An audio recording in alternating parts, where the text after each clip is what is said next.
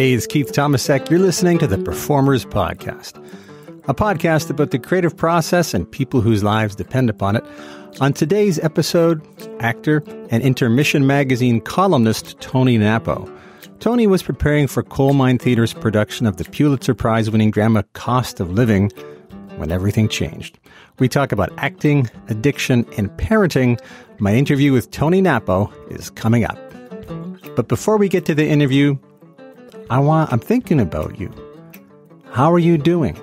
How's it going out there? Are you isolating alone or with your family? If you are with your family, are you getting to know them a little better, you know? Are you spending more time together? Are you thinking, who are these people? What happened to that little angel child I raised?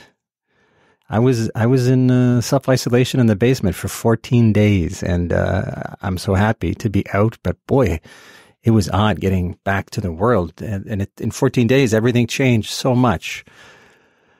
But it was great to spend more time with my son Cole when I got out. Uh, but he's a teenager now, so if you have little ones around, cherish these moments. You know the smiles, those loud laughs that the little ones do, and the quiet moments like uh, reading in bed. Reading in bed was so much fun. I did that every night with Cole. And uh, anyway, just be grateful for those moments that you have together now. I also want to say thanks to my last guest, Bruce Dow. Bruce, he had this upbeat, great mindset despite losing his job on Broadway. And that mindset was a breath of fresh air and I received a few emails after that episode of people saying, thanks so much. I want to read a couple. I didn't tell them I was going to read them, so I'm just going to use their initials. This is from uh, JS. Here's what JS wrote I am an international student and I live by myself. I began to take precautionary measures last Wednesday because something in my gut told me that things weren't right. I haven't had a face to face conversation with another person since last Wednesday, and I'm indefinitely separated from my family because the border is closed. All of this has been unbelievably challenging. Thank you for sending a little positivity out this morning. Stay well and stay sane. Sincerely, JS. Thank you, JS. I appreciate that. And I've passed these along to Bruce Dow, of course, as well. Here's another one. This is from VS. Thanks for the email, VS. I feel sad about what is happening to all of us, especially all the great artists in the world and here in Canada. It reminded me of my time in my hometown Sarajevo, 1992. I was a prompter in the opera, and one day, it was Saturday, all the streets in town were happy, a beautiful spring day. Next day, gunshots and empty streets. Hope it won't last long here, and we'll enjoy beautiful performances, and everyone will go back to the jobs they love. That's from VS. Thank you, VS, for sharing that with me. Uh, well, big perspective there. Sarajevo, 1992. As you said, hopefully this won't last long. Anyway, you can uh, email me. I love to hear from you. Keith Tomasek at gmail.com. I do read them all and I do get back to most of them or all of them actually. Keith Tomasek at gmail.com. So back to my guest, Tony Nappo. I was reading another one of his Nappoholics columns on intermissionmagazine.ca, and I remembered how much I enjoy his sense of humor, his no bullshit perspective on things. I also have to give you a warning if you've got little ears hanging around, maybe don't listen to this podcast with the little ones because there is a, a fair amount of explicit language as he takes us through his life. I also have to let you know, I recorded this almost two years ago, and I'm just, you know, we all have our weird headspace. I don't know why, but I just haven't published it. Sometimes, uh, I don't know. I'm happy to get it out to you now. And Tony takes us back to the time his drug problems first started, just as he was finding success in the Toronto film and TV business. But before that, we talk about getting old. You know, I, I turned 50 and uh, in February. And when I turned 50, I was I wasn't feeling great. And uh, and I thought, you know, 50 is like the the decade or the the decade in my life or, or one's life when people start to die. Yeah. And uh, and I thought, you know, know, the people who die in their 50s, I look a lot like those guys. Well, I've I've never met you before, but you're a you're a hard living guy. And when I met you, I'm like, he doesn't look like a hard living guy. No, I feel I feel much better. I've been I've, I've been trying to pay attention to my diet Yeah. for a while. Yeah. Now this fasting thing's helped, and the Yeah. next step would be to actually do some exercise, which That's me too. I'm the same. You know what? There's three things, and you figured it out too: exercise, diet, and mindset. yeah. Uh, my whole life, because I have Crohn's disease, I've worked on diet, but to the detriment of exercise and mindset. yeah. The mindset is Yeah, but you're lean as a motherfucker. You that doesn't mean I'm healthy. That's the big misconception. Well, that's the true. big misconception, true. right? Right, it's right. a big misconception. It's so bizarre. Well, let's talk about because I, you know, I came to know you through like so many people through Intermission magazine first, Yep. where you do the column and everything. Yep. But I don't know anything about you. Where you're born in Scarborough, I grew up in Scarborough. Yeah. and what did your folks do? My foot, not and nothing. My dad was a tool and die maker. Oh, that's he, pretty uh, serious. But he fell ill when I was uh, about eight, and uh, I was told he was going to die, and everybody was flying in from Italy to say goodbye, and so on and so forth. And then he didn't. Um, and then and then fast forward to when I was twenty five, he needed a new liver. He had scler- sclerosis, sclerosis of the liver. And uh, and he was like at the very final stages. He was yellow Oh wow. and uh and you know really at death's door again and he got a transplant. And uh and now it's 25 years later and he's still fucking alive. And uh yeah anyway so he retired from that and So what did they do to make ends meet when you were growing up? w- we had government assistance. My mom worked my mom always worked um she worked at woolco she worked at walmart. She didn't have i think she had maybe a grade 10 education or something i don't i don't actually remember but yeah they neither of them were educated but uh but you know they were they were good parents So your mom was the breadwinner in the family. That's what it sounds like. Well, to whatever degree. I mean, she uh, she was everything in the family. She was the nurse to my dad. She was uh, she raised us. She worked. She cooked. She cleaned. She she did it all. I remember my dad tried to make toast one time while she was at work, and it was just like a fucking disaster. you know, he has no no. I don't even know if he knows where the kitchen is. And did you see? I grew up. My folks were split up, and I didn't even know that my dad was proud of me till I, I was later in life. And I'll never forget. I was in Hong Kong. He was a big businessman in Hong Kong, and I had gone to visit him. And I'm driving with a stranger. You know, one of his buddies taking me somewhere, and he guys, the guy said to me, uh, "Oh, because I was doing magic in Hong Kong, I was and a big hit. it was like a big hit in Hong Kong." in the front page of the entertainment section of the paper there. And the uh, the old guy that I don't even know with his British accent driving in the Jag is like, oh, you know, your dad is very, very your father is very, very proud of you. And I'm like, well, that's odd. like I couldn't relate to that at all. So it sounds like you had that right away. Yeah, oh, no, I had it right away, and but it but uh, it didn't manifest itself in any kind of good feeling. You know, my dad was really when I was young, he was just scream at me on the way home from hockey and scream. He was just a yeller, Yeah. a real fucking yeller. About what you didn't do right or what, how. Yeah, yeah, So yeah. was there ever and he always focused on, you know, it was funny thing about my dad is like, it was always like, he loved me and he believed in me and he really pushed me hard.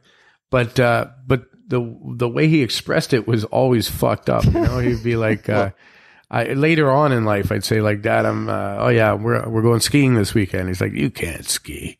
right. no matter what I said, I'm gonna, uh, you know, I'm, uh, I'm water skiing this weekend. You can't water ski. So was there ever a moment where you had that click and you go, you know what? He actually does. He's on my side 100% and all that? Or did you? yeah, it's just like you know, I grew up in a house where like people never said "I love you." Right. You know, you just sort Same of thing, felt yeah, you felt loved. Yeah, I had yeah. I never felt like I wasn't loved. Yeah. I just felt like he he was pushing me, and I knew he was pushing me because you know I'm kind of a lazy fucker, and if somebody doesn't push me, I I won't do anything. But um, you know, even later in life, and my family, like when you when you go to my parents' place, the TV is always on. They wake up and turn it on, and it's on until they go to bed. And that's how I grew up. Yeah. So so whenever we weren't doing something, you know, I grew up in a two bedroom apartment. We watched TV. Yeah. You know, so for me to end up on TV I know. is kind of cool. You know, my mom was excited.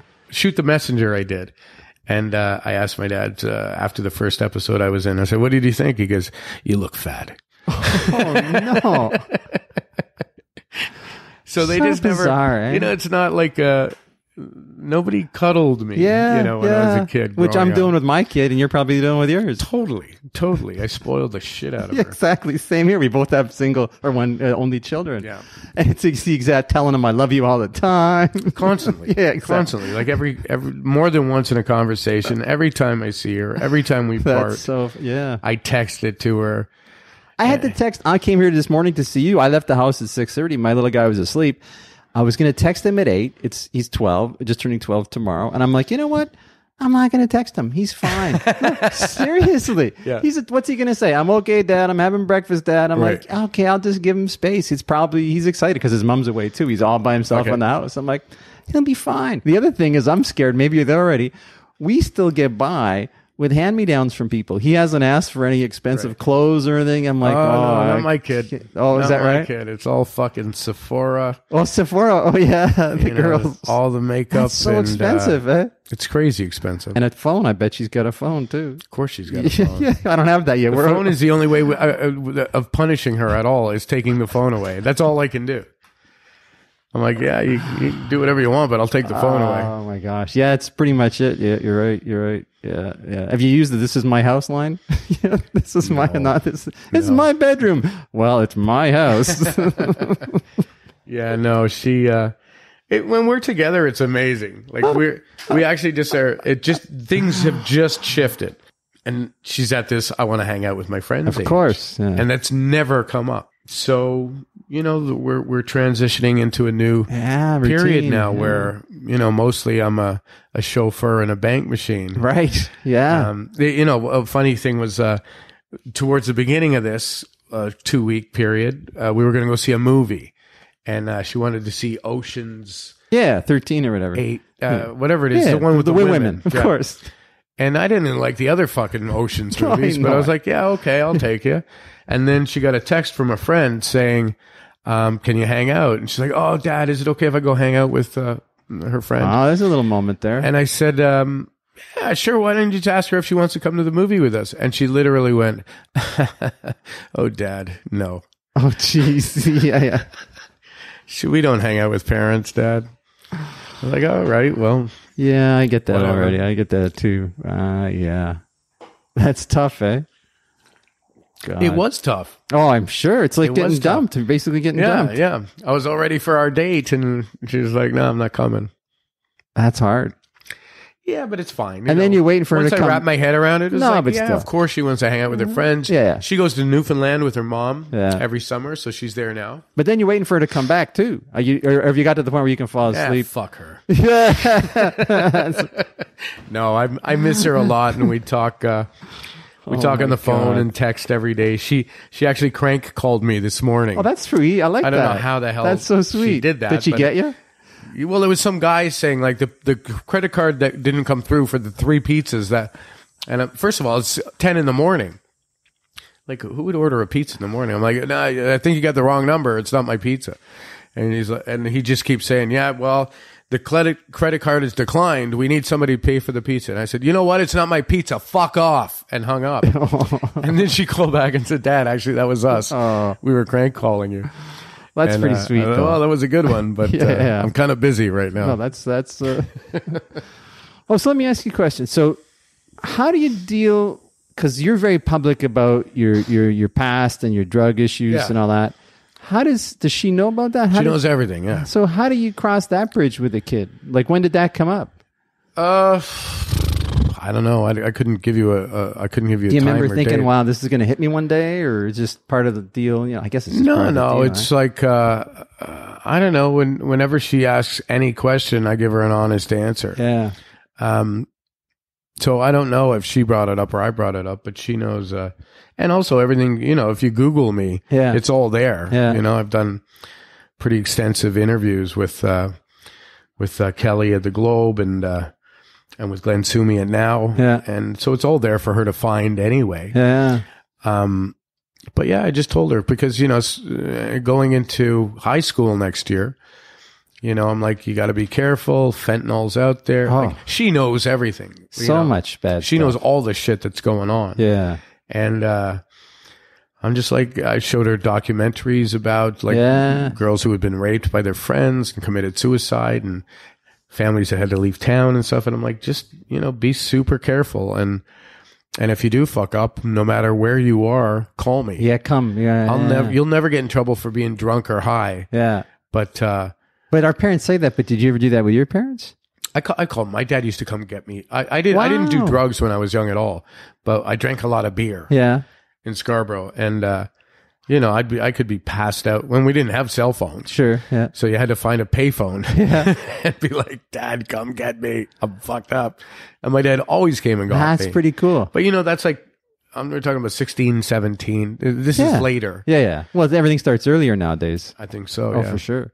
Well, that's pretty good. So that's yeah. I didn't have that. I mean, you know, to be honest, because of the Crohn's disease, I didn't do anything like that till much later in life. I I was really afraid of getting sick, so I had I was around all you name it. I was around it, and I'm like, no thanks, no thanks. It was pretty. Uh, Yeah, I think she's, uh, you know, it's already around. I know that Oh, it's I- already around her, Yeah. and uh, and I just, you know, the, um, try to encourage her to stay away from alcohol and any kind of heavy drugs at all. Yeah.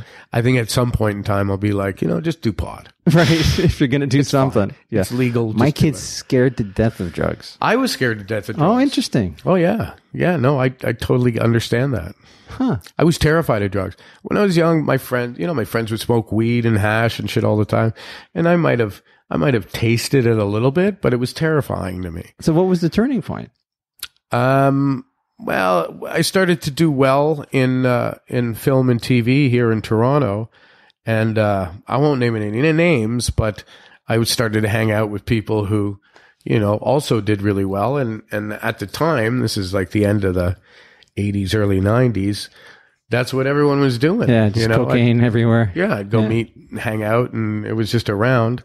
And uh, and I was like, well, if that's what everyone's doing, That's what I'm I'm going to gonna do. really do it. Oh, You you'd be the best at it. Yeah, I'm going to commit myself to this. Yeah. And uh, yeah, I mean, fast forward, there was a lot of fun times in the beginning, and then and then they just stopped. Yeah, you know, it wasn't yeah. fun anymore at all. It was fucking killing me.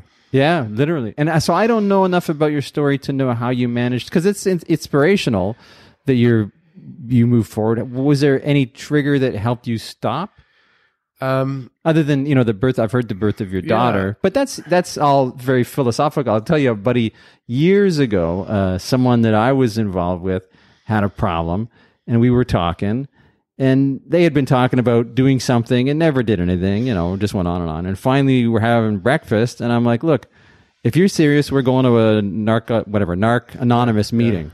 And the person's like, "We're like literally, we were actually cooking." yeah, And the person's like, "Okay," right, and we went right. and I didn't know what the hell to think, and that person didn't know what to think, and I was kind of like inspired by everybody telling their Sure. stories. That person was scared shitless, Right. Yeah. and credits that moment for stopping them. Yeah. I wasn't scared because I had nothing, to, I guess. But so, was there a moment ever in your life where you were like, "This is the moment I remember"? Well, yeah. I mean, uh, I, I, I mean, I remember it well. I, I was, I had been, uh, I think I'd been high for like four or five days, maybe six days without sleeping or without eating. And, uh, and I thought I'm gonna, you know, I, I had an ounce of coke, and uh, and I think there was there was some left, Yeah. you know, and I remember just thinking, if I do the rest of this, I think I'll probably die. Um, so I called some friends to come help me, and uh, and I called my mom, and I said, like, I'm really fucked up, and uh, and she called to find out, you know, what what what could be done, and she found me you know, some names to call and I called people and, and I ended up, uh, went in for 21 days in a, in a rehab facility in Brooklin, Ontario. It's a Renascent house. Uh, so I did my 21 days in there and I came out and, you know, it was pretty good for a couple of years. And, um, and then I started to have slips and, you know, so- some, some pretty big slips. And, uh, and almost fucked my whole career up and almost fucked you know my life was already fucked up um but then just you know started there's always people as long as i can call people for help Right, right. and there's a huge network of people to call for help i'll be okay but um you know the tendency of an addict is to not call for help Of course, you know yeah. i just want to hide and Yeah. pretend it doesn't exist and hope it goes away and and my little bit of understanding, um, and I just got this from I'm a fan of uh, Jeff Tweedy and Wilco, and I was reading about his because he he was messed up seriously, so he did the same thing. He went on a rehab clinic for 21 days, but then he needed a doctor to help him on the day to day maintenance stuff. Right. Did you do that as well? I guess that's the hard part is finding that. Well, in the kind of a- beginning, I went to meetings. yeah, I hate meetings. I just hate them. They just depress the fuck out of me. yeah, Um, but they work for a lot of people. yeah, You know, I remember I would, I would go to meetings. Um, I would go to meetings and then go see a dealer after the meetings. You know, at, at certain points sure, in time. yeah. So the meetings didn't help me because I was just bullshitting. you Right. know? I was just yeah. trying to Well, convince. especially as an actor. yeah, just trying to convince everyone I was okay. Yeah. Yeah. And of course, you know, the cliche, I was lying to myself. But Yeah. uh, I did a couple of out programs at CAMH after I started, when I started fucking up, outpatient programs. And then, uh, uh, yeah, I just, I just have to always keep an eye on it. You know, it's not a thing that goes away. It's not, No, no, I hear you. it's a, it's a struggle more times than others. I've gone through periods where, where I fucked up and, and got myself back together. And, you know, if uh, the, the key for me is if I tell someone I fucked up, then I'm accountable. Right. And then it's, and then I can at least work towards Yeah. not fucking up. Yeah. If I keep it a secret, I'm fucked. yeah. You know, because, uh, because, uh, you know, an, addict left to their own devices is never going to stop using. So we're we're in in Jim Millan's house, This is Jim Millan's house. Yeah. and you talked a little bit earlier about one of the times you fucked up. Was that the, Yeah, Jim. were- Jim is a Jim is a guy who started Crow's Theater, and uh, I did a couple of shows for them. And one of the shows I was doing for them, I I just didn't show up for a performance. for a performance? yeah, and uh, and you know, people came over to where I was, and I was a fucking disaster. And I worked out a deal with Jim because he could have fired me, and uh, the show wasn't doing all that well anyway, so he could have fired me and and put uh, put it all on me, and he didn't. We worked out a deal where my ex-wife, who I was still friends with, came and essentially babysat me for 24 hours a day. She, I was not left alone. during the production too. The thing was that it happened twice. The f- the first time it happened on a Sunday, I I was like, "Oh, it's okay, it's okay, I'll be fine. We'll get through this." And then it happened a second time on a Sunday. And what was it? Was it was it two things? What was the physical thing? Was it alcohol or drugs? Yeah. And then the second thing, what do you think was making you not want to be on stage? I don't think anything wanted me to not be on stage. Uh, you know, the the thing about uh, addictive thought is it doesn't think about anything but drugs. In the moment, yeah, Yeah, so it's just like there's drugs in front of me. Yeah. I'm going to do them. yeah. And then uh, and then when they run out, you fucking crash and you cry Yeah, and you yeah, missing a show is a pretty reality big deal. Though. comes back and like, like not missing a show, fucking up the show for everybody. Yeah, yeah, totally. I went back, you know, after I missed the first show, I went back and apologized sincerely to everyone in tears, and uh, and then I did the exact same thing again a week later, and um, and that's when the babysitter was called, and and I made it through the rest of the run, and then then I went right into another uh, program after that. Oh, okay. Yeah. So yeah, Jim could have ended my career, and um, he didn't, and now I live in his house. Did you know him? Did you know him well at the time before that, or was it? A, as well as I knew anyone Yeah, to yeah. say hello to and Yeah. you know hang out with a bit. We had already done a show together. This was the second show we did together. Um, yeah, no, he's just a really good it's cool. guy, and yeah. you know, people were really good to me. People like me for whatever fucking reason, and were happy to give me a second chance. I guess also because I, I did seek help and I did, Right. Yeah. you know, I was trying. Uh, it's just uh, hard to explain addiction to people. Like when, you know, when you read about Philip Seymour Hoffman or Oh my gosh. Amy yeah. Winehouse or whatever, Yeah, like, yeah. why would they do that? And it's like they did that because that's what they had to do. You know, you, you- drug addicts. It, it's amazing how selective your thinking thinking can be. You know, and how you can lie to yourself every fucking time. it's the exact same thing, but you think, oh no, this will be different. different. This will Yeah. be different. Yeah, You yeah. know, the definition of insanity. And have you got that touchstone now? Does Jim serve as that for you, or is Jim's that- great. Jim and his wife Kira are really good to me, and their their children are, you know, like I'm like Uncle Tony who lives under the stairs, right? and uh, yeah, there's there's all kinds of people in my life I can call on. I don't like to call on people. I'm a, uh, you know, I'm I'm a bit too proud probably, and uh, and a bit too secretive probably. You know, I just definitely don't want things to get out sometimes. But I've been I've been really healthy now for a while, and Well, yeah, like I said, you look great and you're taking Yeah, care. It's funny that you mentioned secretive because I consider myself to be a private person, but you're completely out there, right? It's funny how that well, I'm that completely dichotomy. out there, but. You know, that's what everyone says. Oh, how you doing? You look so good. Uh, everything looks good on Facebook. I'm Yeah, like, what yeah, the yeah. fuck am I going to put on Facebook? No, no, I know. You know, me puking in a driveway. Here, this here's me fucked up. Flashback Thursday or whatever the fuck it is. But even just talking for like you know, even but but you're willing to share. What do you? You're willing to. You, at some point, you made a conscious choice. I'm going to be public about this. I think what you're talking about is a, is a is a byproduct of of just wanting to be accountable Yeah, and wanting yeah. to be uh, open with everyone and and you know there was still even even after I had done rehab there was still always suspicion you know Right, Like, right. my nose is fucked I've got a hole right through my Oh, nose wow. I have one nostril now Yeah, and so I constantly have to blow it and Yeah. clean it and do shit and every other thing. And, uh, and you know, in the beginning, people would be like, "Oh yeah, yeah, he's still Oh, doing it. course, He's still doing it." Or if I had to piss more than once, it's like, "Oh, he's going to the bathroom a lot." right. I was like, "Yeah, whatever." Get like I over it. Yeah. I can't. You know, everyone's entitled to have those thoughts because I deserve them. Um, so I guess I just put myself out there at some point in time more than most Right.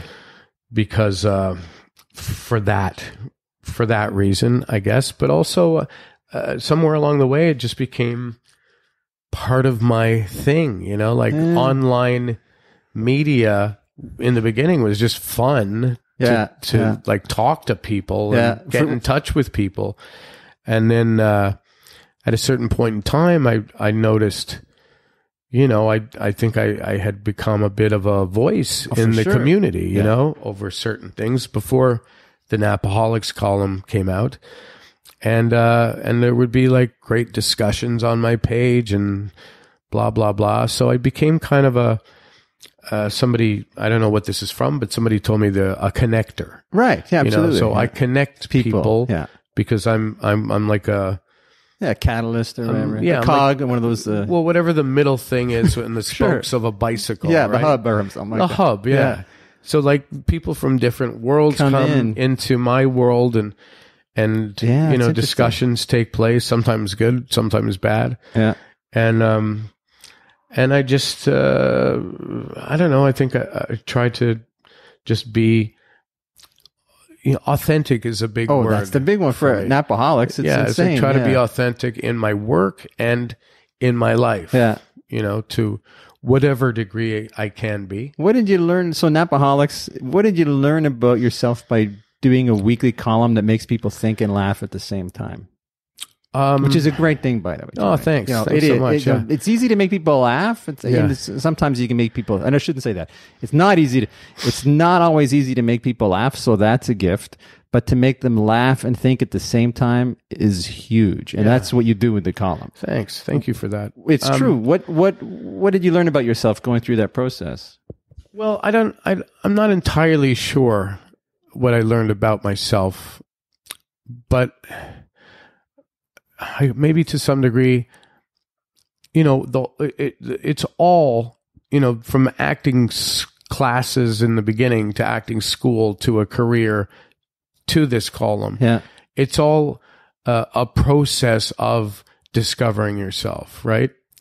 And and you know, post rehab, uh, there was a lot about a lot of my focus was on taking the mask off and uh, um, laying myself at the mercy of of people, you know, and their forgiveness and and generosity was there, and then um, and then it was you know uh, part of the real, realization in rehab is like you're a you're trying to please people. You always want to please people, and and you oh don't. my god, yeah, Yeah, and you don't. Uh, I, sorry, first person. I don't actually have a personality. I, my personality will is malleable and will shift to accommodate whatever, whatever the fuck you want it to Right, be. right. You know, I can be a tough guy. I can be a smart guy. Sure. I can be a dumb guy. yeah, I can be, uh, you know, at the time, I, I was a bit of a, a womanizer. sure, yeah, Um, I can be, uh, uh, you know, I can be anything. yeah. Uh, but none of it was real. You know, it was put on, and uh, or some of it was real. Whatever. No, I hear you. I hear you. I sometimes get bored listening to myself, but um, Find so finding yourself. So the the but column, then I started to realize like I don't need to say the thing everyone else is saying. I I don't need to think what everyone else is thinking, and I don't need to fucking apologize for for either of those things. And and so I just began to as I as I stopped you know whatever the shame is or whatever the pain is or whatever the misery it is that I carry inside of me, kind of existential angst or whatever. Um, I just started to discover my own authentic voice, Yeah, and um, that's, that's how it sounds so easy, eh? But uh, it's it's no, No, it's not easy. That- thing, that's what I'm saying. Like, you just- it's just- of course I still want people to like of- me. especially because now you're everyone loves it, so now there's an expectation, right? Yeah. Well, that's the thing. It's like, you know, at some point, the realization that like people actually do like me. I don't have to pretend to be. Oh, very good. and I think the, the, the, the linchpin or the key to the whole thing is, uh, if people don't like me, I don't give a fuck. Yeah, yeah, yeah, yeah. You know, I don't honestly don't Yeah. give a fuck. Anybody who doesn't want to, you know, like I had a beef at Soulpepper with Schultz back in the day who, you know, before Yep. all this shit hit the fan. And I was like, I don't give a fuck if Soulpepper ever hires me. Right. I don't give a fuck if, uh, I, I don't give a fuck. You know, what's the worst anyone can do in theater? Not hire me? You're doing me a fucking favor.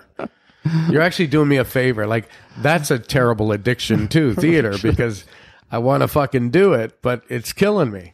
killing you just because it's uh, It's killing because it doesn't pay anything. it doesn't pay in Canada. you yeah. know? And also nobody gives a shit. And Well, you know, well, uh, well, the know. people who do give a shit give a shit, but Yeah. nobody else gives a shit. No. It's a very small percentage. You know, you think like you're doing a play and I don't think most of the audiences, I mean, there's a lot of great people and a lot of great theater goers.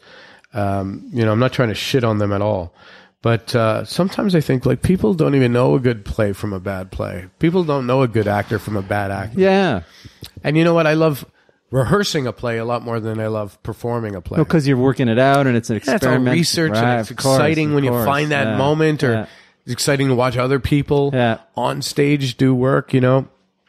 I had just gotten to the the place where people that I really admire and and respect a lot wanted to work with me, you know, and that's and that's uh That's pretty cool. that's a pretty big draw right there like yeah, fuck yeah, I'm going to do Chekhov with Chris Abraham and his amazing right. company, you know? Of course I am. And and of course I want to be in at Canstage or And then you're booked, and you can't take a film role that'll pay five times as much yeah, in two then days. You're fucked, you're fucked for 3 months. yeah, yeah, You know? I mean, you're fucked in that way. sure. The uh, you know, the the nourishment it gives your soul and the satisfaction you get, you know, you're playing you know, I was playing uh, hockey with Gretzky out there. You know, like Right, this, there's right. fucking David Fox. There's on and on and on, and and they just made me. You know, my my criteria for doing theater was like, am I going to be a better actor for having done this? Right. And that's not my criteria for film. It's just like, I'll do fucking anything. Right. Hire me and I'll do anything. Yeah. I, I, you know, I don't want to be. Show I me won't do money. a rapist and I won't do a pedophile, but I'll do almost anything Right, else. right, right. You know, Yeah.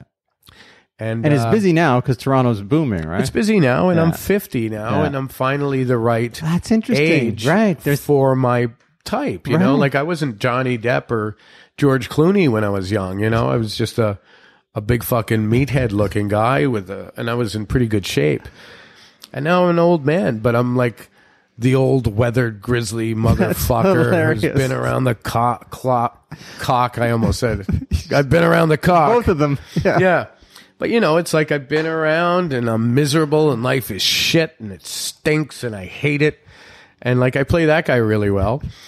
Uh, and that's uh, and I'm also at like my dad, you know, like I'm I'm playing people's dads now and I'm playing You can probably have fun with that. Yeah, I mean, I'm very castable. Yeah, you yeah. know, I can, I'm, I'm, I can do blue collar. I can do comedy. I can do.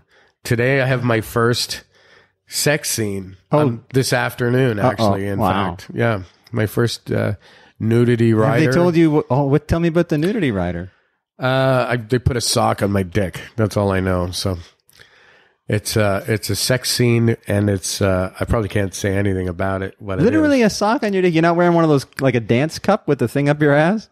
I don't think so because you'll see my ass. Like it's Jeez. it's, it's got to be something that Yeah, you yeah. look naked in. Yeah, So tell me about preparing for your first sex scene. That's uh, I don't. Or know, do you- I didn't really do anything to prepare for it. I Yeah, just show shower. up. Yeah, I'll take a shower and shave your back brush my teeth. Yeah, that's about it. I don't do a lot of preparing for film Right. and TV. Yeah. uh, I just like to show up and see what happens. You know, I know the lines more or less. Yeah.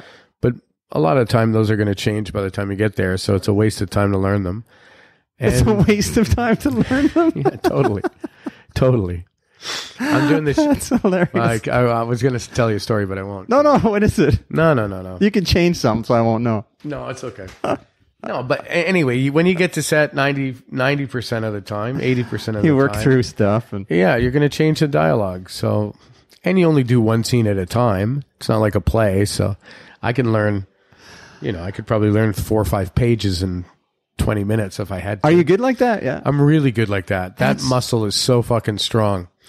Um, yeah, because you're because you know I'm auditioning for three. You know, depends. Yeah, Two- you're two to- trained. two to five or six times a week, yeah. and you got to learn them and drop them, learn them and drop them, learn them and drop them, go on to the next one. But that's that's impressive, and that is a muscle that's so. Um, as a, the, the directors that I speak to, that's their biggest beef is people. I was laughing because it sounded like you don't have them down when you get there, so you do, but you just don't need to worry. I have an it. idea of what they are, Yeah. or what I'm going to change them to.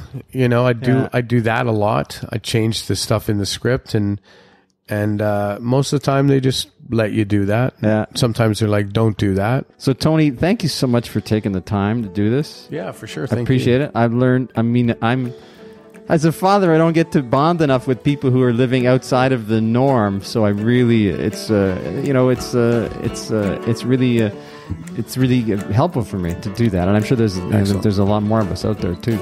Very cool. And I can't wait to uh, read the next column. Thank you, brother.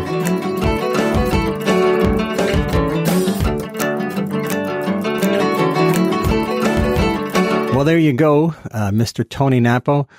Thank you, Tony, so much for uh, inviting me into your home and, and being so open and candid about your relationship and also about uh, your personal problems with uh, addiction. And, um, you know, now's the time when some of these things can rear up their ugly heads when we're alone, when we're void of any routine in our lives. So, uh, if you are struggling, anybody, just reach out. You know, there's always, as Tony said, I loved it when he said, as long as he's in touch with someone, he's less likely to, to fall off. So keep in touch, everybody. Uh, and if you need to email me, email me for sure. I'm here to help too. Keith Tomasek at gmail.com. Tony's great on Facebook. Look up Tony Nappo and I, you, you're going to get a, you'll get a smile. If nothing else, you're going to get a smile because that's just the kind of guy he is. And that's the kind of stuff he puts out there. All my best also to Ted Dykstra and everyone at Coal Mine Theater. I hope that the production of Cost of Living goes up when this is all over. In the meantime, follow Tony Nappo on intermissionmagazine.ca. His weekly column is called Nappoholics, always worth a read. And also, please, um, this is my request to you, hit the subscribe button on your podcast app, whatever you're listening to. If you subscribe, You'll receive the episodes before they go on my website. You'll get them first. And also, the more subscribers we get, the higher we rank on iTunes and Apple Podcasts, and then more creative people can find us. Be sure to listen to another episode of the Performance Podcast. If you enjoyed this one, check out my interview with Nicholas Campbell. It's a few years back, but Nicholas is another hard living guy who calls it like he sees it. And like Tony, he's got a great sense of humor. Don't forget to subscribe. That's the Performers Podcast, a podcast about the creative process and people whose lives depend upon it. I'm Keith Tomasek. Thanks for listening.